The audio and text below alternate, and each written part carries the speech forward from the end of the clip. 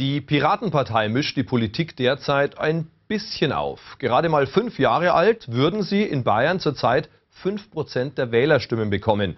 Mit diesem Rückenwind, da kandidiert jetzt der erste Pirat auch für das Bürgermeisteramt in einer bayerischen Stadt, und zwar in Landsberg am Lech. Erik Lemberg heißt er und unsere Oberbayern-Reporterin Julia Schenk hat ihn in Landsberg besucht. Das Rathaus von Landsberg. 1700 erbaut, hübsch verziert mit einer Stuckfassade. Jetzt soll es geändert werden, zumindest wenn es nach ihm geht.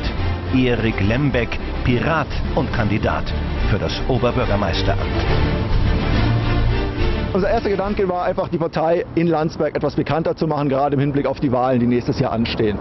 Wir, uns ist klar, wir sind realist genug, um zu wissen, dass wir nur Außenseiter sind, aber wir sind wahrscheinlich nicht der erste Außenseiter, der eventuell einen Sieg davon tragen würde. Erik Lembeck, 46 Jahre alt, verheiratet, Familienvater und Online-Händler. Jetzt geht's in die Politik. Über 200 Unterschriften hat er für seine Wahlzulassung gesammelt, innerhalb von nur sieben Tagen. Lembeck hat viel vor. Unsere Hauptziele sind einmal Bürgerbeteiligung und Transparenz. Was wir nicht machen werden, ist äh, Konzepte aufzustellen und die den Bürgern probieren überzustülpen.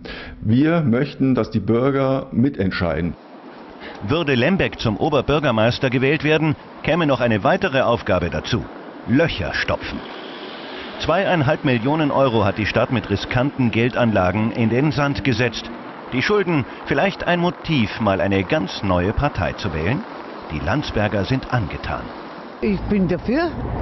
Man muss immer offen sein für was Neues. Was bringt, werden wir sehen. Ich denke, es ist auf jeden Fall wert, sich das Ganze mal anzusehen. Ob er tatsächlich Chancen hat, weiß man nicht. Aber Piratenpartei ist sehr stark im Kommen. Warum nicht? Wenn er es besser macht. Viel Arbeit liegt noch vor ihm. Erik Lembeck glaubt an seine Chance. Landsberg ist eine tolle Stadt, sehr lebenswert.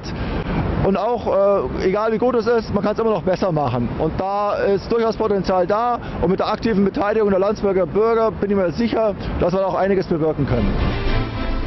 Ein Rathaus entern. Pirat Lembeck nimmt die Herausforderung an. Gewählt wird am 11. März.